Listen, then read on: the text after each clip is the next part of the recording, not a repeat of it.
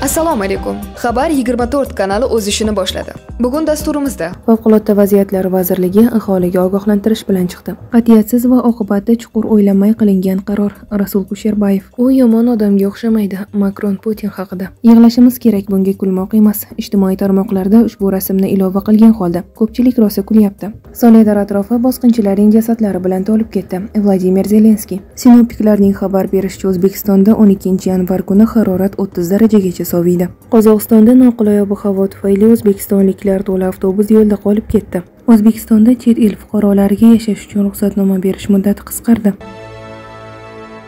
Hozirgi sovuq kunlarda sizlarga viti konditsionerlarini taklif etamiz. Viti konditsionerlari salqinlikni minus 16 gradusgacha issiqlikni esa plyus 40 gradusgacha ushlab beradi. Og'izni quritmaydi va ko'zni achishtirmaydi ustiga ustak uni o'rnatish juda qulay. Shunchaki devordagi mixga ilib qo'ysangiz bas 25-30 kvadrat metrgacha bo'lgan xonalarni isitib beradi va xona haroratini bir xilda saqlaydi. Buyurtma berish uchun ekraningizdagi telefon raqamlariga murojaat qilishingiz mumkin. Qat'iyatsiz va oqibatda chuqur o'ylamay qilingan qaror. Rasul kusherbayev. Kusherbayevning aytishicha tezkor qaror tufayli tufayli maktablarda isitish tizimi ishdan chiqishi mumkin. Xabaringiz bor anomal sovuq ob havo kirib kelishi munosabati bilan barcha bo'g'indagi ta'lim muassasalarida qishki ta'til muddati 17 yanvarga qadar uzaytirilib o'quv mashg'ulotlari 18 yanvardan boshlanishi ma'lum qilingandi. Biroq 10 yanvar kechga yaqin barcha hududlardagi maktablarda o'qishlar 11 yanvardan boshlanishi belgilandi. Sobiq deputat rasul kusherbayev mazkur voqeaga munosabat bildirib bu qaror davlat milliardlab zarar yetkazishini ma'lum qildi. Kusherbayevning aytishicha tezkor qaror tufayli maktablarda isitish tizimi ishdan chiqishi mumkin. Qat'iyatsiz va oqibati chuqur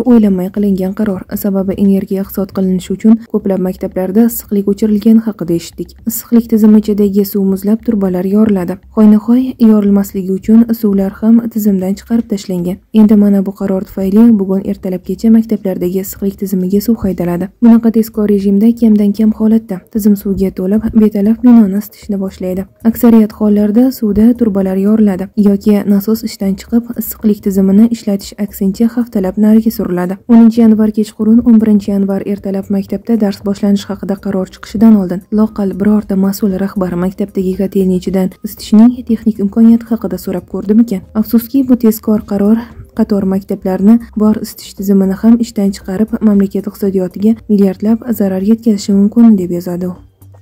favqulodda vaziyatlar vazirligi aholiga ogohlantirish bilan chiqdi. O'zbekistonda qorlar erishi va tomlardan sumalaklarning tushishi bilan bog'liq baxtsiz hodisalarning oldini olish uchun ehtiyot bo'lish va iloji bo'lsa binolardan uzoqroq yurish tavsiya etiladi. Bu haqda favqulodda vaziyatlar vazirligi tarqatgan xabarnomada so'z borgan. Qayd etilishicha binodan chiqayotganda tomlarda qor massalari sumalaklar va muzlarning to'planishi ularning tushishi mumkin bo'lgan joylarni chetlab o'tishga e'tibor berish kerak. Bolalarni xavfli deb hisoblagan joylarda bo'lishga yo'l qo'ymaslik lozim. Binolarning tomidan qor massalari va sumalaklar tushishi holatlarida xavfsizlik choralari. Qor massalari sumalak va muzlar bo'lishi mumkin bo'lgan tomlari baland uylarga yaqinlashmang va bolalarning bunday joylarda o'ynashi va bo'lishiga yo'l qo'ymang. Agarda xavfli joyda panjarasi ogohlantiruvchi belgilari mavjud bo'lsa ulardan o'tishga urinmang. Xavfli joyni boshqa yo'l bilan aylanib o'ting. Quloqchinni taqqan holda ko'chada yurmang. Tomdan tushayotgan qor massalari shovqinini eshitmasligingiz mumkin. Piyodalar yo'lakchasi bo'ylab harakatlanayotganda yuqori raqobatlarda shubhali shovqinni eshitsangiz to'xtamasligingiz kerak. Boshingizni ko'taring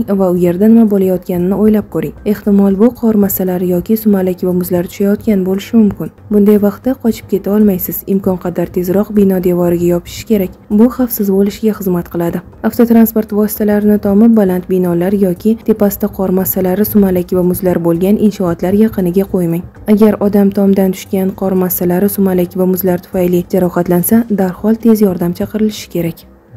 Yig'lashimiz kerak bunga kulmoq emas. Ijtimoiy tarmoqlarda ushbu rasmni ilova qilgan holda ko'pchilik rosa kulyapti. Aslida yig'lashimiz kerak. Yo'q narsani bor deb hisob beradigan bolalar sog'lig'i uni zarracha qiziqtirmaydigan hamda prezident siyosatiga qarshi harakat qilgan bunday odamlar davlat rahbariga mutlaqo vakil bo'lishga yaramaydi. Bugunning o'zidayoq iste'foga chiqarilishi kerak. Bu ochiqchasiga xalq va millat kelajagining ustidan kulishdan boshqa narsa emas. Suratdagi inson aktyorlikni eplolmagan shovot tumanining amaldagi hokimi ekanligi aytilmoqda. Darvoqe rasmga olgan shaxsga tashakkur aytishimiz kerak borini ko'rsatganligi uchun.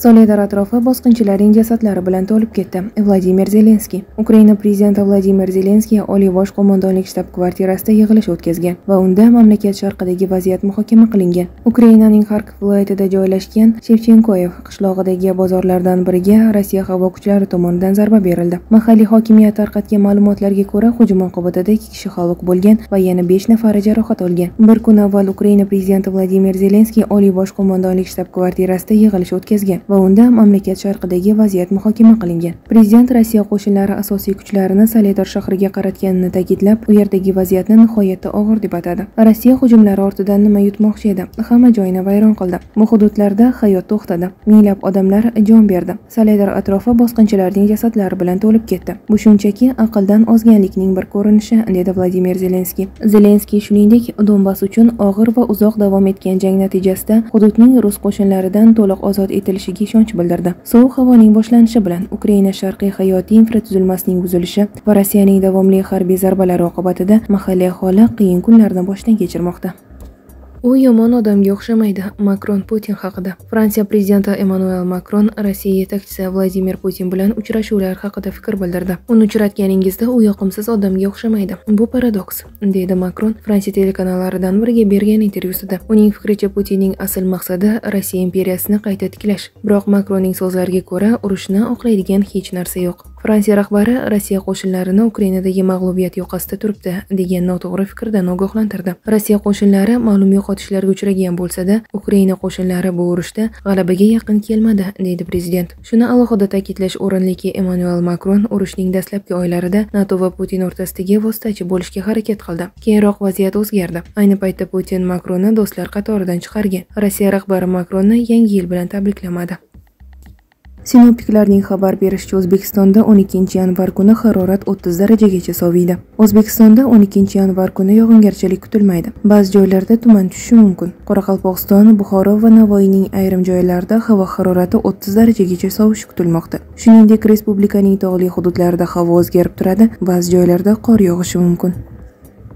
Rossiya va ukraina o'rtasidagi urush yaponiya va aqshni yanada yaqinlashtirdi. Ular qo'shma operatsiyani kengaytirmoqda. Vashington va uning osiyolik ittifoqchilari mumkin bo'lgan xitoy tayvan mojarosiga tayyorgarlik ko'rayotgan bir paytda aqsh va yaponiya harbiylari o'zlarining qo'mondonlik tuzilmalarini jadal integratsiyalashmoqda va qo'shma operatsiyalarni kengaytirmoqda. Bu haqda financial times xabar bermoqda. 3-dengiz ekspeditsiya kuchlari qo'mondoni general leytenant James Priman so'nggi bir yil ichida ikki amerika va yaponiya armiyasi sezilarli darajada o'sganini ta'kidladi. Qo'shma shtatlar va uning osiyodagi ittifoqchilari g'arb davlatlariga rossiya bilan urushda ukrainaning qarshilik ko'rsatishini qo'llab-quvvatlashga imkon beradigan ramka nusxasini ko'chirishdi. Xitoyning tayvanga bostirib kirishi kabi ssenariylarga tayyorgarlik ko'rmoqda dedi u.